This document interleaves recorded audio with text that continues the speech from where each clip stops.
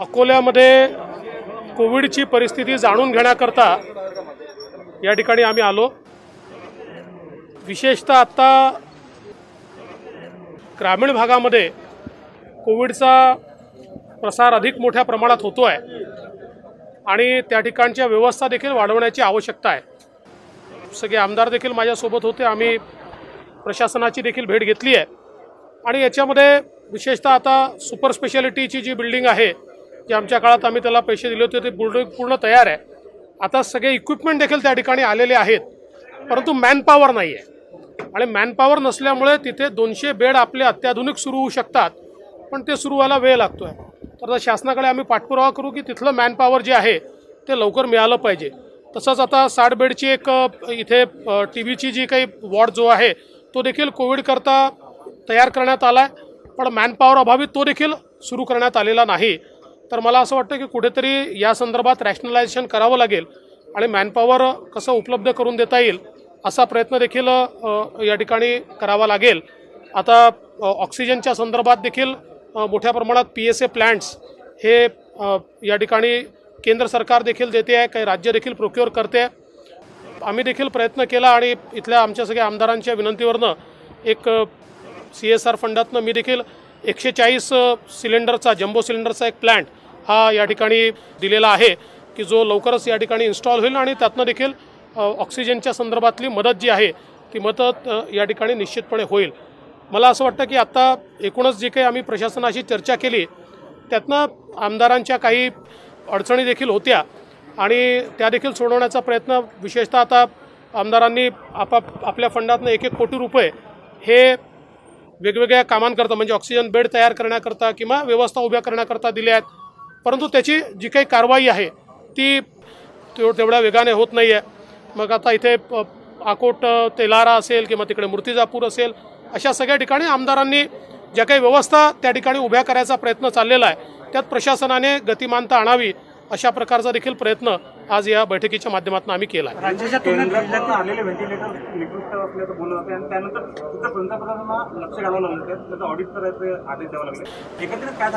असं आहे की केंद्र सरकारने दिलेले व्हेंटिलेटर्स हे मोठ्या प्रमाणात पडून राहिले.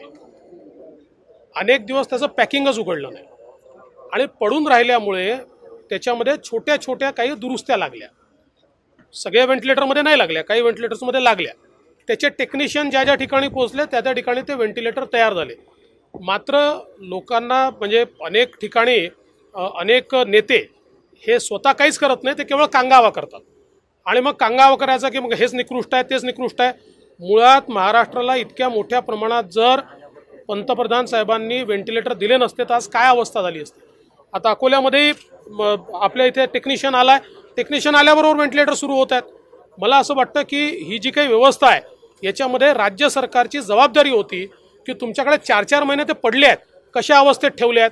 शेवटी ही मशीन आहे आणि ही एक सॉफिस्टिकेटेड मशीन आहे. ही जर तुम्ही कशी डंप करून ठेवून दिली तर ती ज्यावेळेस तुम्ही उघडाल त्यावेळेस ती लगेच चालू होणार नाही. त्यामुळे आपल्याला मिळालेल्या गोष्टी योग्य प्रकारे वापरल्या गेल्या पाहिजेत. ही राज्य सरकारची जबाबदारी आहे ती पार पाडली पाहिजे. राज्याच्या तुलनेत सर जिल्ह्याची स्थिती काय सर? एकूणच जिल्ह्याची जी काही स्थिती आहे इन्फेक्शनचा रेट अजूनही मोठा आहे आणि त्यातही गेल्या काही दिवसात मोर्टॅलिटी रेट जास्त आहे. लोक मृत्यू मोठ्या संख्येत होत आहेत. आत्ता मला असं वाटतं की चिंतेची बाब ही मृत्यू आहे.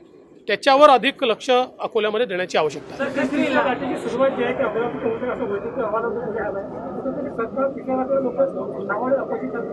नाही माझं मत असं आहे की आता तिसरी लाट अमरावतीत आहे की नाही याबद्दल अधिकारिक कोणी सांगितलेलं नाही त्यामुळे त्याच्यावर फार स्पेक्युलेशन करणं योग्य नाही. पण तिसऱ्या लाटेची व्यवस्था मात्र आपल्याला सगळीकडे करावी लागेल.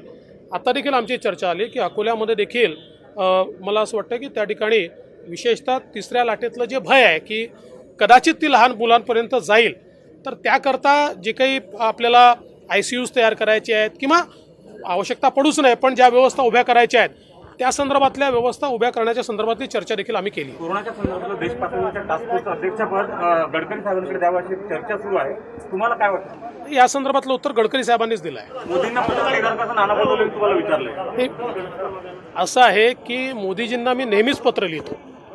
आणि या महाराष्ट्राकरता जे जे आवश्यक आहे ते मोदीजींना पत्र लिहून मागतो. आणि मोदीजींकडनं ते मिळतं. महाराष्ट्राला सर्वात जास्त रेमडेसिवीर मोदीजींनी दिले. महाराष्ट्राला सर्वात जास्त ऑक्सिजन मोदीजींनी दिलं. महाराष्ट्राला सर्वात जास्त व्हेंटिलेटर्स मोदीजींनी दिले. मात्र काही लोकांना केवळ कांगावा करायचा आहे. कांगावाखोरांना मी उत्तर देत नाही.